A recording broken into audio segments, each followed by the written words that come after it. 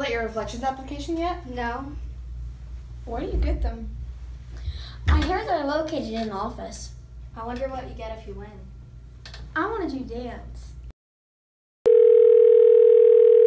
Hello? The president has called on a top secret board of communication. President Trump is calling us? Not President Trump, the president of the PTA, my mom.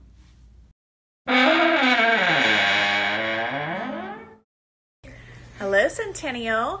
PTA has an arts contest going on called Reflections. It's the 50th year, and the theme is Heroes Around Me.